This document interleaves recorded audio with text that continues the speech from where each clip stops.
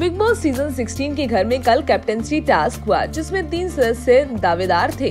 टीना, निमृत कौर राहलवाल या Shiv Thakare.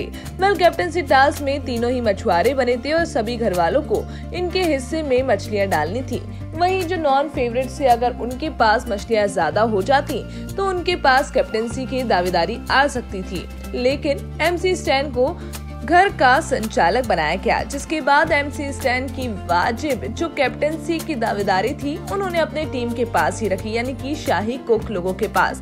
Well देखकर अर्चना और प्रियंका काफ़ी ज़्यादा नाराज़ हुई। वेल बहुत एविडेंट था कि अगर एमसी स्टैंड को ये दिया जाता है तो एमसी स्टैंड अपनी गैंग को ही देंगे। और अब इस पर सोशल मीडिया पर जमकर हंगामा हो रहा है। सोशल मीडिया पर कहा जा रहा है कि जब पूरा बायस्ड ही था तो फिर गेम क्यों खिलाना था? टीवी ही हम बंद कर देते। साथ ही आपको बता दें कि लोग प्रियंका के लिए भी यही बात कह रहे हैं कि अगर प्रियंका के पास भी होती तो प्रियंका भी बायस्ड होती। ये शो पूरा बायस्ड हो चुका है और सिर्फ़ अपने फेवरेट्स पर ही चल रहा है। वेल इस पर आपका क्या कहना है? हमें कमेंट करके ज़रूर बताएँ but till then like share and subscribe to our channel